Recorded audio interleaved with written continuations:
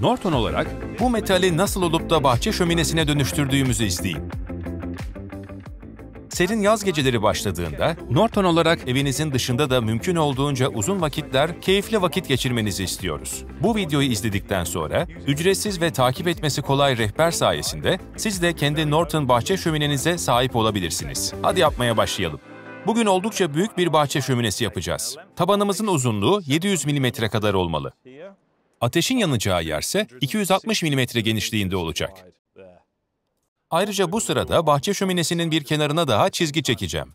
Evet, şimdi işaretlenmiş iki bölümümüz var. Yani bunu keserken hareket etmemesi için düzgün bir şekilde sıkıştırdığımızdan emin olmalıyız. Kesmek demişken, bugün keserken tamamen seramik bir disk olan Norton Quantum 3 1,3 mm kesme taşımızı kullanacağım.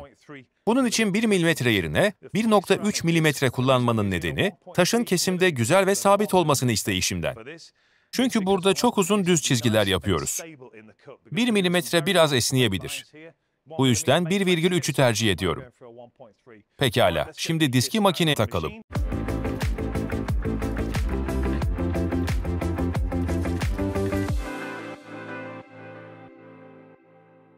Şimdi uç plakaya geçelim. Şimdi bunu yapmak yan plaka veya alt plakayı yapmaktan biraz daha karmaşık. Ama bunu sizler için son derece kolay hale getireceğiz. Bahçe şöminenizin merkez noktasını ölçebilir ve bu aracı kullanarak 45 derecelik açıları bulabilirsiniz. Ya da buradaki plaka üzerindeki ölçüleri veya yapım kılavuzumuzda yer alanları takip edebilirsiniz.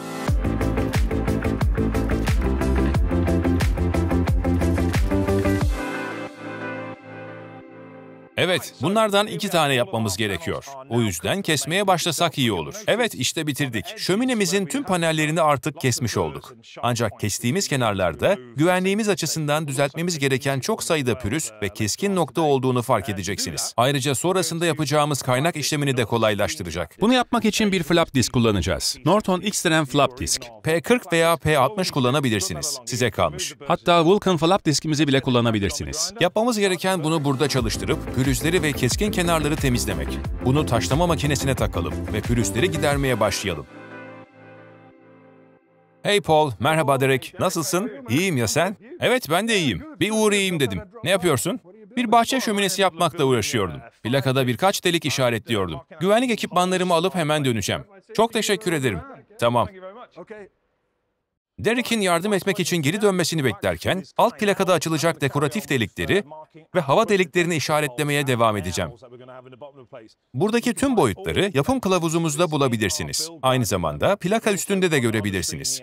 Takip etmesi kolay. Pekala, hadi başlayalım. Güvenlik ekipmanı giydim ve başlamaya hazırım. Pekala, iyi görünüyor. Evet, güzel bir ekipmanmış. Harika bir makine değil mi? Evet. Bu bir manyetik karot alma makinesi. Çok iyi. Burada yapacağımız bahçe şöminesinin üst kısmında olduğu gibi daha büyük çaplı delikler açmak istiyorsanız ve böyle bir makineniz yoksa standart el matkabı kullanarak da bu tür delikler açabilirsiniz. Yani bu makineden sizde yoksa endişelenmeyin. Evde kendiniz de yapabilirsiniz. Dert değil. Ben bu delikleri açarken sen ne yapacaksın? Ayakları yapmaya başlayacağım. Aa evet, boyutlarına göre keseceğim. Evet.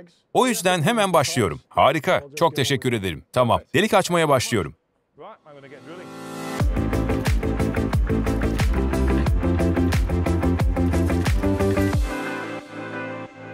Paul plakalara delikler açarken ben de ayakları ölçeceğim. Şimdi bunları uzunlamasına keseceğim. Daha sonra doğru açıyla yeniden elden geçirip ayakları farklı parçalara böleceğim. Böylece daha sonra bunları birbirine kaynak yapabileceğiz.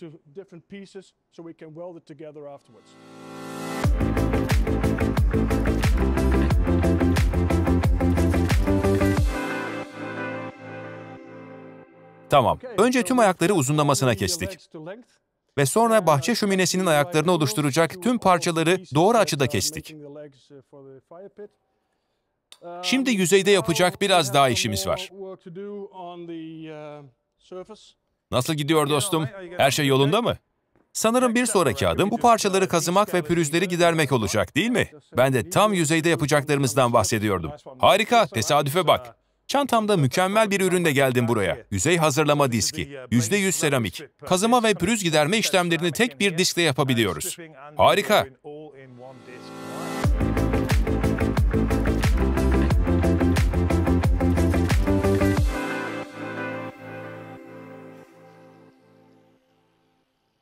Plakadaki pürüzleri giderdik. Son hali hakkında ne düşünüyorsun?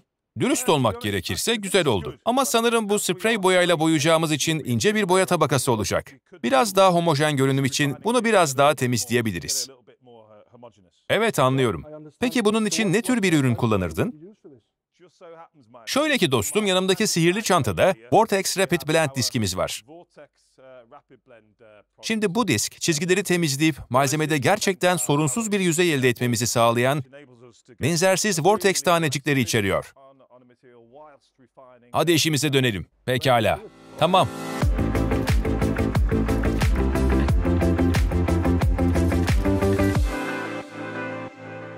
Bugün asıl kaynağı yapmadan önce tüm montajı bir araya getirmek için MIG kaynak makinesini kullanacağız. Başlamadan önce doğru koruyucu ekipmana yani bu ısıya dayanıklı deri eldivenlere sahip olduğunuzdan emin olalım. Tabii bir de kaynak maskesi lazım. Evet, sanırım başlamaya hazırız Derek değil mi? Hadi başlayalım.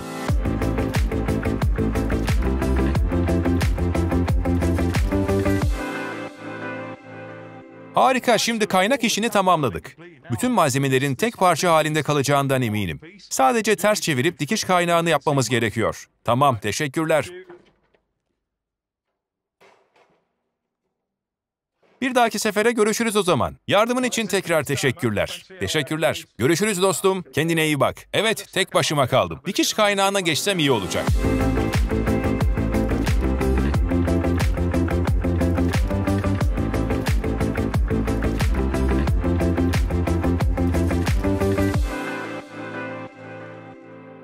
Evet, böylece bahçe şöminesinin ana gövdesi üstünde birbirine kaynaklanmış ayaklarımız var.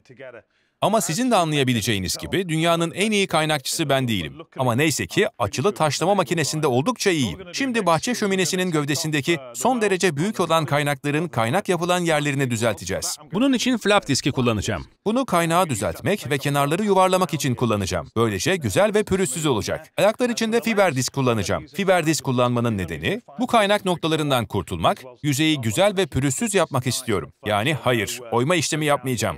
Neyse ki sihirli çantamda bu ürünler var. Onları çıkarıp çalışmaya başlayalım.